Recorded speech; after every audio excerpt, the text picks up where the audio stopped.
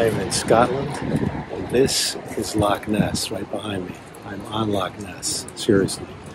Um, I think it's been something like over 50 episodes of Monsterology, and I'm just now getting around to Loch Ness Monster. So today's episode is obviously on the Loch Ness Monster, and uh, this is particularly difficult for me because this is my phobia deep water uh, and what leviathans could be lurking underneath. So here it is Loch Ness Monster. Welcome. It's pretty deep. It's about 750 feet deep, which is about half the depth uh, of, say, the Empire State Building. Not that deep, but it's extremely long. Uh, many miles. I don't know if it's like 20 miles long or something. It's crazy. Some people have said you could put all the water from all the lochs in Scotland inside Loch Ness.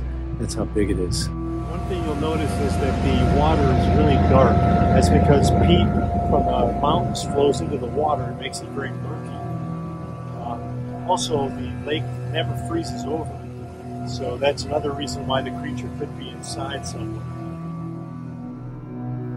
Okay, so today we're going to be doing a sort of a traditional charcoal drawing, and um, then I'm going to go over. You're going to see me go over it with acrylic paint and then uh, I import it into my iPad and finish it with some digital uh, layers.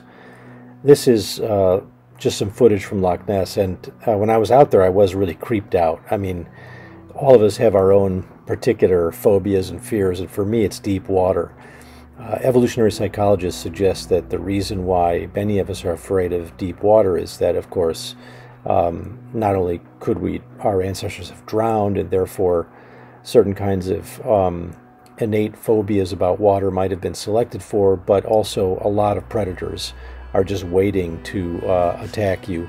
Uh, when I was in Africa, it was very common to see uh, any animal that, any mammal that wanted to go get a drink of water in the nearby river or lake had to face um, crocodiles and snakes and this kind of thing. So one could argue that it's part of our evolutionary history to have a certain kind of fear about uh, deep water or murky water.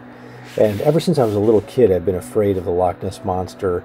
Um, I used to watch the Leonard Nimoy in search of, and it was kind of a big deal when I was a kid.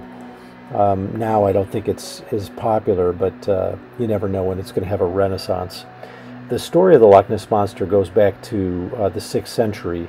Uh, in 565, an Irish missionary named Columba uh, claimed to see a beast in the river Ness. So this is not the lake, but the river, which is a tributary. And Columba uh, had heard a tale of a dangerous water beast, so he sent one of his apprentices, one of his devotees, to swim across the river. And uh, sure enough, the monster emerged and started to approach. But Columba uh, said, shouted out, you know, go no further, go back at once. And the monster miraculously heeded the command. So this became sort of part of the early legend of the Loch Ness Monster. But it really got going in the 1930s. Uh, the Inverness Courier uh, reported the first modern sighting, and that was, um, I think, in 1933. And then a sort of a steady stream of sightings uh, came fast and furious through the 30s.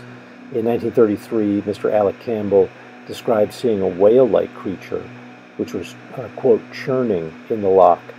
And in 34 uh, came the very famous photo called the surgeon's photo. Uh, British Surgeon Colonel Robert Wilson took the famous photo. Uh, I'm sure you've seen it. And uh, it stood as sort of the most defining image of a long necked creature with a small head. Um, and these images sort of lent credence to the idea you know, that came along later that it might be a plesiosaurus. But uh, even this photo was in the 1990s debunked as a hoax, and uh, it was uh, discovered that it was a, a, toy submarine with a sculpted head attached to it. And um, apparently, Robert Wilson and others had a, a certain taste for uh, this kind of prank. It reminds me to send you back to some other monsterology episodes, like the one on uh, Charles Waterton and the taxidermy hoaxes. There's this long tradition in British intellectual natural history of, of really hoaxing not just the public but also the academic intellectuals. uh, anyway, it's a, it's an it's an old story, and of course, in the United States, we have our our own P.T. Barnum as a manifestation of this uh, of this tendency too. Uh, this is this is what Orwell might have called, you know, the laughter of free men. Uh, there's a sort of tradition, I think, um, in the Anglo-British, uh, in the Anglo-American tradition. Um, so then, you know, in in the 1980s, there was a kind of systematic approach. I remember this in 1987. 20 boats methodically swept the, the loch uh, using sonar equipment, and uh, they found nothing. But um, when I was in Scotland and I'm sort of out on the on the loch on a boat, the uh, the guide was saying, "Well, you know, uh, Nessie could be living inside these deep caves that the, the, sonar might not have detected." So there's an, you know, it's it's sort of like religion. There's always a way to save the theory. Um, you sweep the entire loch and show no activity by sonar, but well, what if there are caves protecting the animal down there? it's a little like people debunking religious claims, but there's always a sort of ad hoc solution. So it, it's almost like you, you decide if you're going to believe in it first and then get the facts to, to fit uh, that belief. Um, in 2011, a very famous photo uh, by George Edwards uh, emerged. And, uh, you know, this, this should have sort of cast certain amount of skepticism because George Edwards was a tour operator bringing people out onto the loch. In 2013, uh, he admitted that it was a hoax. It was a fiberglass uh, structure. In 2016, Ian Bremner snapped a very compelling photo, and um, this one still holds holds sway. Many people disagree about this. It looks like it could be uh, Nessie, but it also looks like three seals that are playing in the water. And um, having spent some time now out there on the Isle of Islay and in this region, I can say that the seals do look um, like they could pass for some kind of sea creature, especially if you're just seeing parts of them. So, as many of you know, the sort of theoretical possibilities here are that Nessie could be a plesiosaurus, uh, and I'm going to also explain how it could be a giant eel. Um, and those are sort of the two main contenders, I think, at this point. The plesiosaurus is a creature that goes back to the early Jurassic period, so we're talking about 200 to around 175 million years ago. And the, the plesiosaurus was discovered in England by Mary Anning, who was an English fossil collector, and she discovered the, the bones or the fossils in 1823. So it, it, it lends credence to the idea that there could have been some kind of creature in England. Um, there's some problems here. Uh, obviously, the main problem is is this thing one creature that goes back through history? That seems just patently absurd and ridiculous. How could any creature have a single lifespan that's that long? And then, two, is it part of an interbreeding population of creatures that are sort of like living fossils? And that sort of is compelling, but then you need a fair number of them, or at least maybe 30 of them, to be interbreeding and that makes the likelihood of their going undetected, you know, um, more more um, pressing.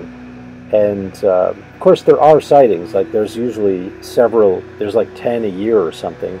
So you could argue that well, there is enough um, actual sightings to, to sort of bear out the possibility of an interbreeding population.